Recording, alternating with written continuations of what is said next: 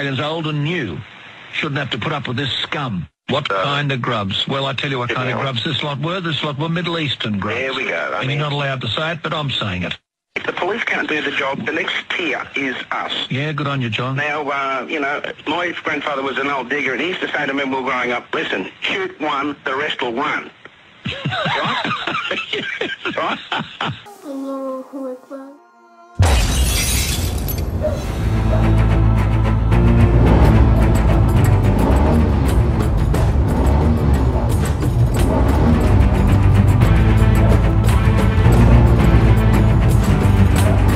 Events in Christchurch show that Islamophobia, anti-Muslim racism has become a real, a real cancer in Australian society. It was helpful though, because so often we're told that the perpetrators of terrorism are Muslims or foreigners or refugees or illegals, when in what we got was the reality that no, no, they can come from anywhere, anytime.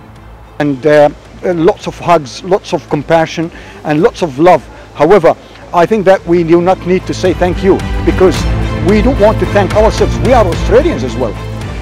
The, the terrible murder that took place comes in the context of nearly two decades of anti-Arab anti-Muslim and anti-refugee politics in mainstream Australian politics and much of the Australian media. And everything in media is um, does not reflect the reality. It's all being politics.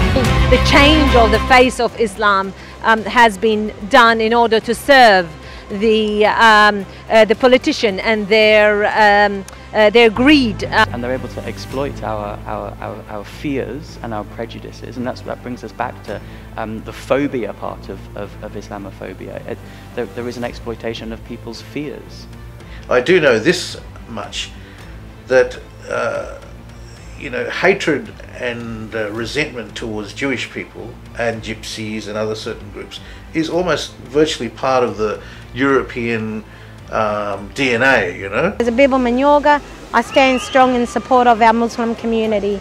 You know, I got called bung, I got called nigger, you know, the words that I got called, you know, I only feel for our sisters and brothers from the Muslim community, the hurt and pain they must suffer every day by being stereotyped by the way they do get stereotyped within our white community.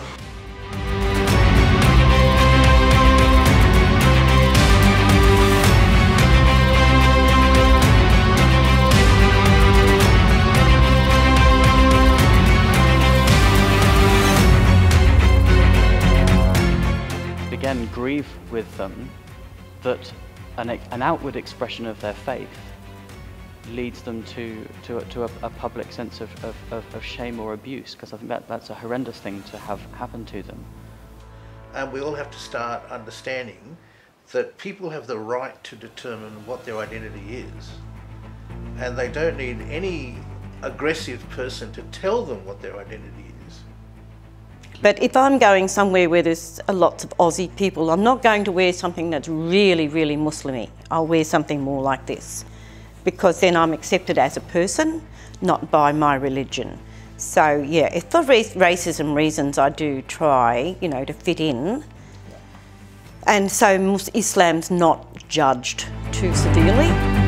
My children even say to me, Mom, can you take your scarf? I say, I am not. Because they, they I've been bashed as a Muslim, I've been slipped on my face as a Muslim.